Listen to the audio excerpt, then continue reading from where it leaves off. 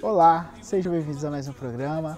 E o nosso versículo para a nossa reflexão de hoje se encontra em Lucas, capítulo 17, versículo 33, que a palavra nos diz: Quem quiser preservar sua vida, perdê-la. E quem perder, de fato, a salvará. É, Jesus ele fala em diversos momentos esta frase que nos traz uma grande reflexão. Muitas pessoas é, ao ler ou ao ouvir perguntam o quê? Porque realmente é muito interessante quando ele diz que quem quiser preservar a sua vida, perdê-la-á. Porém, aquele que a perder, de fato, a salvará. E no versículo anterior ele diz: Lembram-se da mulher de Ló.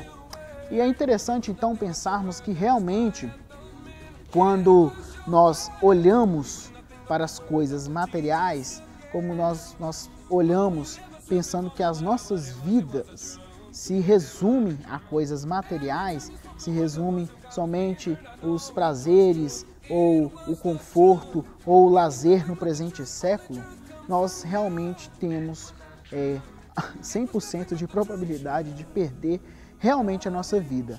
Porque o que Jesus está querendo nos dizer quando ele cita este versículo é que quando queremos viver a nossa vida aqui, nós já perdemos, porque a verdadeira vida está em Jesus, está com Ele.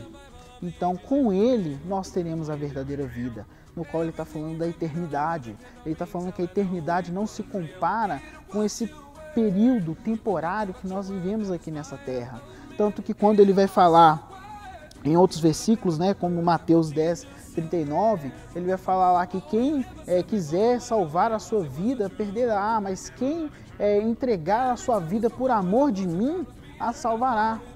Então, realmente, nós não devemos pensar que as nossas vidas se resumem basicamente a coisas materiais, a, a, a, a simplesmente a subsistências de coisas terrenas. Mas nós devemos lembrar que a nossa maior necessidade é espiritual, porque nós somos seres eternos e nós vamos passar ou a eternidade no inferno, que é a verdadeira morte, ou a eternidade com Deus, que é a verdadeira vida.